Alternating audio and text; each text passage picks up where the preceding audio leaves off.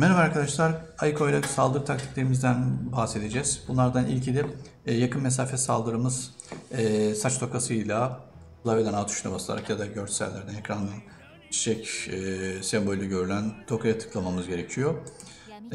Bunu ayarlarken destek alması gerekiyor. Burada iki tane düşman olduğu için. İlki hemen Hayato'dan destek alalım. Yıldız atsın.